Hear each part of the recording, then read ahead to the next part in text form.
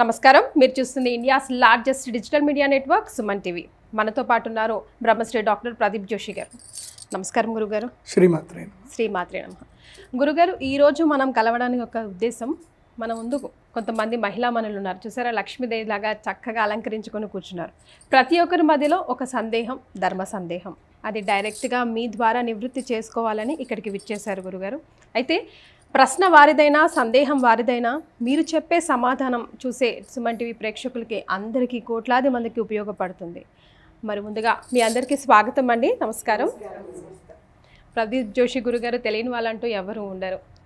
So గురుగారు ఎప్పుడు వస్తారా ఎప్పుడు వస్తారా అని అందరూ చాలాసేపు నుంచి వెయిట్ చేస్తూ ఉన్నారు. ముందుగా మిమ్మల్ని మీరు పరిచయం చేసుకొని మీ ప్రశ్న ఏంటో చెప్పండి. నమస్తే అండి గురుగారు. నా పేరు శోభారాణి. నేను మారేడుపల్లి నుంచి వచ్చానండి. నా సందేహం ఏమిటంటే ఇది శ్రావణ మాసం. ఈ శ్రావణ మాసంలో వచ్చే రెండో వారం వచ్చేటువంటి వరలక్ష్మి వ్రతం ఎంతో శ్రేష్టమైనది ఆడవాళ్ళకి ఎంతో పవిత్రమైనది. అందరూ ఆ రోజే వ్రతం చేసుకోవాలని ఎంతో అభిలాషిస్తారు. కానీ ఆడవాళ్ళం కాబట్టి అందరికీ అదే రోజు వీలు కాకపోవచ్చు అదే వారమే. మరటుంటప్పుడు మొదటి వారము మిగిలిన మూడు నాలుగు వారాల్లో వ్రతం చేసుకోవచ్చా? దానివల్ల ఏమన్నా దోషమా? ఎందుకంటే లక్ష్మీదేవి కళ్ళలో చారుమతీదేవి కల్లో కనిపించి స్వయంగా చెప్పిన మాట పౌర్ణమి ముందు వచ్చేటువంటి శుక్రవారం చేసుకోమని సూచించారు లక్ష్మీదేవి. అందుకని అదే రోజే చేసుకోవాలని ఈ మధ్య మాట వినిపిస్తూ ఉంది. మరి ఏది ఎలా చేసుకుంటే మంచిది? వీలు కాని పరిస్థితుల్లో. శ్రీ గురుభ్యో నమ. శ్రీమాత్రే వాస్తవంగా మనకి ఈ ఉత్తరాయణము దక్షిణాయనము రెండు ఆయనాలు ఉంటాయి చాలామందికి ఏంటంటే అసలు శ్రావణ మాసమే ఎందుకు ఈ వ్రతాలు చేయాలని చాలామంది కూడా తెలియదు. ఎందుకు శ్రావణ మాసం? కాలం గురించి మనం అర్థం చేసుకుంటే మనకి ఇది అర్థమవుతుంది. రెండో వారమే ఎందుకు? అమ్మవారు ఎందుకు చెప్పింది ఆ వారం అనడానికి ఫస్ట్ మనం ఒక అర్థం చేసుకుందాం. ఉత్తరాయణం దక్షిణాయనం ఇవి ఉంటాయని మీ అందరికీ తెలుసా? తెలుసు. ఉత్తరాయణం అంటే ఏమిటి అంటే కనుక ఆధాన కాలము అంటారు. అంటే ఉత్తరాయణ కాలంలో మనకి ఎండాకాలం విపరీతంగా ఉంటుంది. ఇప్పుడు జనవరి పద్నాలుగు నుంచి జూలై పద్నాలుగు వరకు మనకి పూర్తిగా ఎండాకాలం ఉంటుంది. అంటే దాన్ని ఆధాన కాలం అంటారు. అంటే సూర్యుడు మన నుంచి శక్తిని స్వీకరిస్తాడు. భూమి నుంచి శక్తిని మొత్తం కూడా స్వీకరించే సమయము ఆధాన కాలం అంటారు. ఓకే. ఆ తర్వాత దక్షిణాయన కాలాన్ని ఏమంటారు అంటే ప్రధాన కాలము అంటారు. అంటే ఇచ్చేటువంటి కాలం. తీసుకునే కాలం ఒకటి ఉంటుంది ఇచ్చే కాలం ఒకటి ఉంటుంది. కానీ విచిత్రం చూడండి. తీసుకునే కాలంలో ఎక్కడ కూడా శూన్యమాసాలు లేవు. అంటే దేవుడు మనకి ఏదైనా శక్తి తీసుకుంటాడు అనుకోండి శూన్య మాసాలు లేవు అక్కడ. అంటే ఎలాంటి పెళ్ళిళ్ళు పనికిరాని మాసాలు ఏమి ఉండవు. ఎందుకోసం అంటే మనకి ఉత్తరాయణం స్టార్ట్ అయింది అనుకోండి మాఘమాసము పుష్యమాసంలో ఉత్తరాయణం స్టార్ట్ అవుతుంది. సో మాఘము మాఘమాసము తర్వాత పాల్గొన మాసము తర్వాత చైత్ర మాసము వైశాఖ మాసము జ్యేష్ఠ మాసం. ఈ ఆరు నెలలు పెళ్ళిళ్ళు కార్యక్రమాలు ఉంటాయా ఉండయా? ఉంటాయి. ఉంటాయి. ఉంటాయి. ఈ ఆరు నెలలు పెళ్ళిళ్ళు కార్యక్రమాలు ఉంటాయి. మాఘమాసంలో పెళ్ళిళ్ళు చేయొచ్చు. తర్వాత పాల్గొన మాసంలో పెళ్ళి చేయొచ్చు. చైత్ర మాసంలో కొంతమంది చేస్తారు కొంతమంది చేయరు కానీ చైత్ర మాసం కూడా పనికి వస్తుంది వైశాఖంలో పెళ్ళి చేస్తారు జ్యేష్ఠంలో పెళ్ళి చేస్తారు. సో మళ్ళీ ఆషాఢంలో ఒక పదిహేను రోజులు వస్తాయి అప్పుడు చేయరు. అంటే ఉత్తరాయణ కాలంలో అంటే దైవం మనల్ని స్వీకరించే టైంలో మనం ఎంత ఎన్నైనా శుభకార్యాలు మనం చేయొచ్చు. అప్పుడు ఆ శక్తి అంతా ఎవరు తీసుకుంటారు అంటే దైవం తీసేసుకుంటుంది. అంటే మన పూర్వజన్మ కర్మలన్నింటినీ కూడా వాటి కర్మఫలం అంతా నశించాలి అని అంటే ఉత్తరాయణం. ఇహ జన్మలో మనకు సుఖం రావాలి. అంటే ఏంటి? ప్రధాన కాలం. అంటే మనకి సూర్యుడు వర్షం రూపంలో మనకి ఏం చేస్తాడు? చక్కగా ఆయుర్వేద గుణాలు కానీ నీ నీటిని ఇస్తాడు. ఇది మన కంటికి కనబడడానికి. కానీ ఈ యొక్క కాస్మిక్ ఎనర్జీలో ఏం జరుగుతుంది అని అంటే ఆషాఢ మాసం శూన్యమాసం అయిపోతుంది. నెక్స్ట్ మనకి ఏం స్టార్ట్ అవుతుంది? శ్రావణ మాసం. అంటే మనకి యూనివర్స్ నుంచి శ్రీ మహావిష్ణువు ఆ మహాలక్ష్మీదేవి మనకి ఎనర్జీ ఇస్తుంది.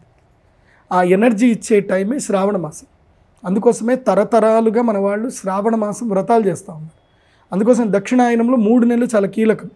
శ్రావణ మాసం ఆశ్వయుజ మాసం కార్తీక మాసం. ఈ మూడు నెలలు మనము వ్రతాలు పూజలు అన్నీ చేస్తాం. కార్తీక మాస వ్రతం చేస్తాం ఆశ్వయుజ మాసంలో దేవీ నవరాత్రులు చేస్తాం.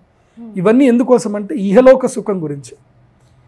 అయితే మీరు అడిగారు రెండవ శుక్రవారమా మూడవ శుక్రవారమా ఏదైనా సరే పౌర్ణమికి ముందు వచ్చేటువంటి శుక్రవారము చాలా శ్రేష్టమైంది. ఎందుకోసమంటే ప్రధాన కాలము లోపల అంటే ఇప్పుడు ఉదాహరణకు చెప్పాలంటే మనకి సూర్యుడు ఉదయిస్తున్నాడు అని మనకు కనిపిస్తుంది.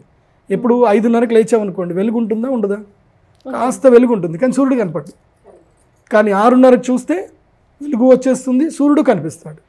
అలాగే ఉత్తరాయణం దక్షిణాయనం ప్రారంభమవుతుంది ఆషాఢ మాసంలో. అంటే మనకి ఎర్లీ మార్నింగ్ ఫైవ్ థర్టీ అయినట్టు. సో శ్రావణ మాసంలో శుక్రవారం అంటే సూర్యోదయం అయినట్టు. అంటే మన పితృదేవతలకి సూర్యోదయం అవుతుందన్నమాట ఆ టైంకి. సో అందుకోసమని అది లక్ష్మీదేవి పూర్తిగా అనుగ్రహాన్ని ఇచ్చేటువంటి సమయం. సంధ్యా సమయం అంటే యూనివర్సల్లో ఒక సంధ్యా సమయం అంటే సంవత్సరానికి కనుక తీసుకుంటే సంవత్సరానికి కూడా సంధ్యా సమయం ఉంటుంది. మనకి ఎట్లాగైతే గనక సూర్యోదయ సూర్యాస్తమాలు ఇరవై నాలుగు గంటలకు ఉంటాయో అట్లాగే చంద్రుడి మీద మనము కనుక ఉంటే గనక చంద్రుడు చంద్రమండలం మీద ఉంటే పదిహేను రోజులకు ఒకసారి మాత్రమే సూర్యుడు కనిపిస్తాడు పదిహేను రోజులు సూర్యుడు కనబడ్డు. అందుకోసమే చంద్రయాన్ ఎప్పుడు దించారు? ఇరవై మూడో తారీఖు. అష్టమి రోజున దించారు. అది ఏ అష్టమి? శుక్లపక్ష అష్టమి. అంటే అక్కడ సూర్యోదయం అవుతుంది అక్కడ. చంద్రుడి మీద సూర్యోదయం అవుతుంది. అలాగే ఈ శ్రావణ శుక్రవారము వర్ ఏది పౌర్ణమి ముందు వచ్చే శుక్రవారంలో ఏంటంటే ఈ యూనివర్సల్లో ఒక కాస్మిక్ ఎనర్జీ అనేది మనం మన మీదకి వస్తుంది. ఇది అదృష్టాన్ని ఇవ్వడానికి ధన సంపదను ఇవ్వడానికి ఆ ఎనర్జీ వస్తుంది. ఆ ఎనర్జీ వచ్చి ఎప్పటిదాకా ఉంటుందంటే ధనుర్మాసం వరకు ఉంటుంది. అంటే డిసెంబర్ ఇరవై రెండో తారీఖు వరకు ఉంటుంది. ఆ ఎనర్జీని మనం ఒడిచి పట్టుకోవాలంటే ఏం చేయాలంటే ఒక కలశం పెట్టుకొని ఒక సంకల్పం చేసుకొని పూజ చేసుకోవాలి. కాబట్టి మీరు అన్నట్టుగా స్త్రీలకి ఋతుక్రమ రీత్యా కానీ ఏదైనా ఒక సమస్యల రీత్యా కానీ ఉద్యోగ సమస్య రీత్యానో వాళ్ళకి ఆ పౌర్ణమికి ముందు శుక్రవారం వ్రతం చేసుకోవడం కుదరలేదు. అప్పుడు ఏం చేయాలి? అక్కడి నుంచి ఎప్పటి వరకు ఎనర్జీ ఉంటుందని చెప్పాను? డిసెంబర్ డిసెంబర్ ఇరవై రెండవ తారీఖు వరకు మనకి ఆ ఎనర్జీ భూమి మీద ఉంటుంది. కాబట్టి ఆ తర్వాత పౌర్ణమి తర్వాత కూడా మనము చేసుకోవచ్చు. దాంట్లో ఎలాంటి దోషం లేదు. కానీ భక్తి చాలా ప్రాధాన్యమైనటువంటిది. చాలామంది వరలక్ష్మి వ్రతం చేస్తారు కానీ శ్రీ సూక్తం ఎవరూ చదువుకోరు చాలామందికి. అంటే అష్టోత్తరం చదివేసుకుంటారు శ్రీ సూక్తం చదవరు. శ్రీ సూక్తం తప్పకుండా మీరు వినండి. మీకు సుమన్ టీవీలోనే శ్రీ సూక్తం ఆడియో కూడా ఉన్నాయి మీకు. యూట్యూబ్లో పెట్టుకొని చక్కగా శ్రీ సూక్తం వినండి. అందరూ కలిసి కథ డిస్కస్ చేసుకోండి. ఎందుకు చారుమతి కళ్ళలోకి వచ్చి అమ్మవారు ఎందుకు చెప్పింది? మరి చారుమతికి ఓన్లీ చెప్పిందే చారుమతి ఒక్కతే చేసుకోవాలి కదా? చేసుకోలేదు. ఏం చేసింది? ఇరుగు పొరుగు అందరినీ పిలిచింది. పిలిచిన తర్వాత వ్రతం అయిపోయింది వ్రతం అయిపోయిన తర్వాత మొదటి ప్రదక్షిణలు చేస్తే అందరికీ ఖాళీ అందలు వచ్చాయని చెప్పేసి అన్నారు. ఇప్పుడు మా ఇప్పుడు ఈ జనరేషన్ నైంటీస్ టూ థౌజండ్లో పుట్టిన వాళ్ళు "ఏ, ఇదంతా బుల్షిట్. అదేదో కట్టుకుంటే కాళ్ళకి గజ్జరేట్లు వస్తాయి. అవన్నీ జరిగేటివి కావు అని ఇట్లా చాలామంది అంటారు. అలా ఎవరైనా అనుకుంటే కనుక మీరు తప్పకుండా ఒక యోగి ఆత్మకథ పుస్తకం తప్పకుండా చదవండి. ఎందుకోసం అంటే ఈ ప్రపంచంలో మనకి కంటికి కనబడేది చాలా తక్కువ. కంటికి కనబడేది చాలా ఎక్కువ. ఇప్పటికీ నేను హిమాలయ యోగులు బాబాల దగ్గరికి వెళ్తాను. వాళ్ళు కనికట్టు విద్య తెలిసినటువంటి వాళ్ళు కూడా చాలామంది ఉన్నారు. నా ముందే నాకు రెండు వేల రూపాయల నోట్లు ఒక లక్ష కట్టని ఇంత పెద్ద చూపించారు నా కళ్ళ ముందే. ఇదిగో నీకు రెండు వేల నోట్లు చూస్తావు ఇదిగో చూడు అని చెప్పి ఇట్లా చూపించారు. తీరా చూస్తే ముడితే అక్కడ లేవు. కానీ కనికట్టు విద్య వాళ్ళు చూపించారు. నా కంటికి మాత్రం కనిపించింది. అట్లాగే గాల్లో నుంచి కూడా ఆ రత్నాభరణాలు తీసిచ్చారు. ఇప్పుడు పుట్టపర్తి సత్యసాయిబాబు గారిని తీసుకుందాం. వారి గురించి చాలామంది చెడు ప్రచారాలు చేశారు. నేను చిన్న ఉన్నప్పుడు వారి గురించి చెడు ప్రచారాలు చేసినప్పుడు నమ్మలే. నిజంగానే వీళ్ళు చెప్పింది కరెక్టే. ఏదో దొంగ బాబాలు అని నేను అనుకున్నా. నేను ఏదైతే యూనివర్సల్కి క్వశ్చన్ ఇచ్చానో నాకు పుట్టపర్తి సత్యసాయి బాబా గారు నాకు ఆ సమాధానం పంపించారు నా దగ్గరికి. నా దగ్గరికి ఒక వ్యక్తి వచ్చారు. ఆ వ్యక్తికి సాయిబాబా గారు ఏంటంటే ఒక గోల్డ్ రింగ్ ఇచ్చారు ఆయన. ఇలా అని గోల్డ్ రింగ్ ఇచ్చారు. ఇస్తే ఆయన కూడా అనుకున్నాడట బాబా గారు ఇచ్చారు సంతోషమే. ఏదో కనికట్టు ఏమో అని అనుకున్నాడట అది ఏమైందట అంటే కాలక్రమేణా అది కట్ అయిపోయింది. కట్ అయిపోయిన తర్వాత అది నిజంగా బంగారమే కట్ అయిపోయింది. తర్వాత ఈయన ఎవరు కంసాలి దగ్గరికి వెళదాము చేపిద్దామని అనుకుంటా ఉన్నాడు కుదరట్లే. తీసి లోపల పెట్టాడు. తర్వాత ఒకరోజు ఎవరో కంసాలి ఫోన్ చేశాడు అరే కా- పని ఉంది కదరా నాకు గోల్డ్ రింగ్ ఉంది అది చేపించుకోవాలి. అది పెట్టుకున్నంతసేపు నాకు అదృష్టం వచ్చింది అది తీసిన తర్వాత నాకు కలిసి రావట్లేదు అని చెప్పి లాకర్ తీసి అది తీసేసరికి అది యాజ్ ఇట్ ఈజ్ ఉంది అది. తెగిపోయింది ఆటోమేటిక్గా అదే కనెక్ట్ అయిపోయింది అదే సెట్ అయిపోయింది. ఇది ఆ వ్యక్తి నాకు స్వయంగా చెప్పాడు నేను అసలే నమ్మని వ్యక్తిని నేను. నేను ఆ రోజు నుంచి అప్పటి వరకు నేను పుట్టపర్తికి పోనే పోలేదు. ఆ తర్వాత పుట్టపర్తి పోయేసి వచ్చాను నేను. పుట్టపర్తికి నేను వెళ్ళిన తర్వాత కూడా నాకు చాలా మార్పులు వచ్చాయి. అక్కడ ఒక స్లోగన్ రాస్తారు. Love ever hurt never serve ever. అంటే అందరినీ ప్రేమించండి ఎవరిని ద్వేషించకండి సేవ చేస్తూ ఉండండి. ఈ మూడు మాటలు నా జీవితాన్ని కూడా మార్చేసాయి అందుకే వరలక్ష్మి వ్రతంలో అందెలు వచ్చాయి ఆభరణాలు వచ్చాయంటే ఇవి అందెలు ఆభరణాలు మీకు లైవ్గా రాకపోవచ్చు. కానీ ఏదో ఒక రూపంలో తప్పకుండా అమ్మవారు ఆ వరాన్ని ఇస్తుంది గ్యారంటీగా ఇస్తుంది. ఇలాంటి మిరాకిల్స్ నా లైఫ్లో చాలా జరిగాయి ఎంతోమంది విషయంలో జరిగాయి. అదొక్క మీకు ఉదాహరణ చెప్పాను. కాబట్టి వరలక్ష్మి వ్రతము అందరూ తప్పకుండా చేయండి మీరు ఒక్కళ్ళే చేసుకోవద్దు. ఇలా ముత్తైదులందరినీ పిలిచి కలిసికట్టుగా చేసుకోండి బాగుంటుంది. రైట్ గురుగారు వరలక్ష్మి వ్రతం టాపిక్ వచ్చింది కాబట్టి మొన్న ఈ మధ్య మేము నేను జయక్క ఇద్దరం కలిసి శ్రీవాణి గారి ఇంటికి వెళ్ళాం గురుగారు. అక్కడ ఒక రెండు నిమిషాల పాటు మాకు డిస్కషన్ దేనికి అంటే వాయనం ఇచ్చేటప్పుడు ఇదిగోండి ఈ ఇలా తీసుకోవాలా ఈ ఫ్రంట్ కొంగుతో తీసుకోవాలా అన్నది. ఒకటి ఏ ఎలా తీసుకుంటే ఏం వాయనమే కదా అని ఒకవైపు డిస్కషన్ అయితే ఇలా తీసుకోవాలంటారు మా పెద్దలని నేను. ఇలా తీసుకోవాలి భిక్షాందేహి అన్నట్టు అని ఒకరు. మరొకరేమో ఇటు తిప్పి తీసుకోవాలని ఒకరు. నిజంగా ఈ క్లారిటీ నాకైతే కావాలి. విషయం ఏంటంటే మీ అందరికీ ఓడి బియ్యం అని తెలంగాణలో వినే ఉంటారు. తెలంగాణ సాంప్రదాయం అయితే ఓడి బియ్యం తప్పకుండా ఉంటుంది. ఒడి అంటే ఏమిటి? మీరు అందరు చిన్నపిల్లల్ని ఎత్తుకున్నారు కదా? మీ అందరు పిల్లల్ని ఎత్తుకున్నారు. ఒడి అంటే ఏమిటి? ఇదే కదా. ఒడి అంటే ఇది. ఉమ్, ఇక్కడ మనకి అనాహత చక్రం ఉంటుంది. మనకి చక్రాలు ఉంటాయి షట్ చక్రాలు ఉంటాయి. ఇది మనకి సహస్రార చక్రం ఇది మనకి ఆజ్ఞా చక్రం ఇది విశుద్ధి చక్రం. ఈ మూడు చక్రాలు పైన. తర్వాత మనకి అనాహత చక్రం అని హృదయ స్థానంలో ఉంటుంది. ఆ తర్వాత మూలాధార చక్రము స్వాదిష్టాన చక్రం మణిపూరక చక్రాలు ఇవి కింద భాగంలో ఉంటాయి. ఈ రెండింటిని అనుసంధానం అంటే కింద మూడు చక్రాలు ఉంటాయి పైన మూడు చక్రాలు ఉంటాయి. మధ్యలో ఉండే చక్రం పేరేంటి?